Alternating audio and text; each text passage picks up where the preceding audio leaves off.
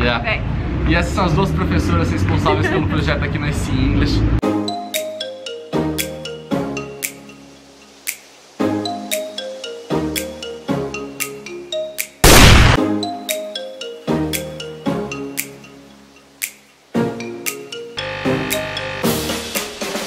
Bom dia, bom dia, Russo. Bom dia.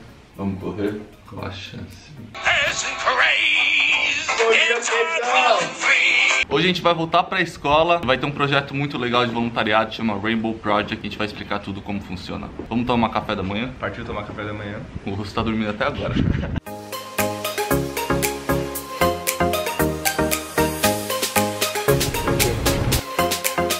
How are you today? Hello, hello, hello, hello, hello. E isso é a graduação. Quando os estudantes se formam, estão indo pra casa, aqui na SC English.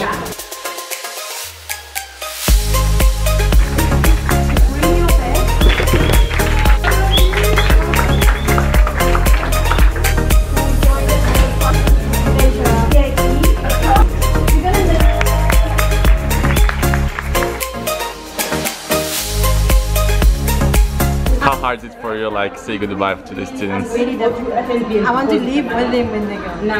Oh. What's that? Personal level.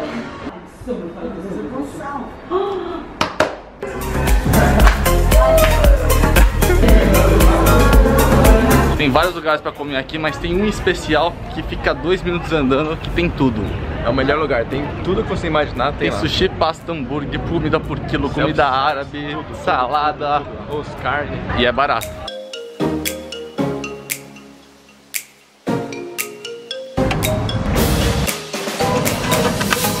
Yeah.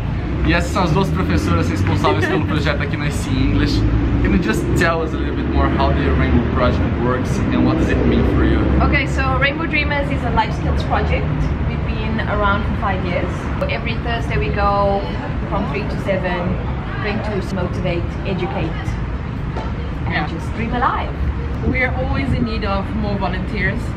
Um, we need hands, we need people who want to do and not just uh, people who want to come and yeah, stroke their egos. Everyone's welcome, so please come volunteer with us, and it Doesn't you'll matter your English level, right? No. No, it doesn't matter your level of English.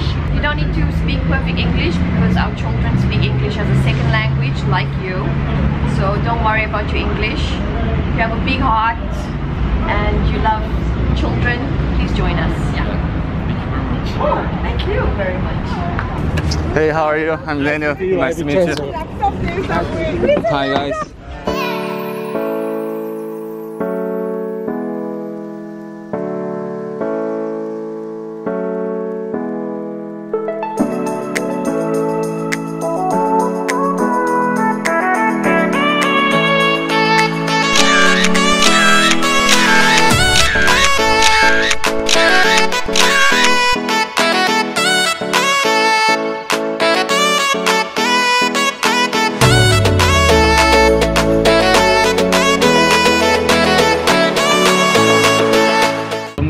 Lá o tanto que eu gostaria, mas acho que tem que ter essa experiência de você ir até lá pra viver isso.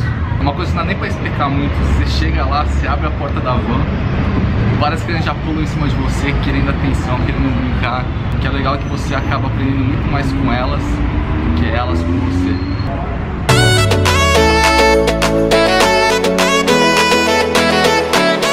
Se você tem medo de altura, talvez não seja o melhor lugar para você vir aqui.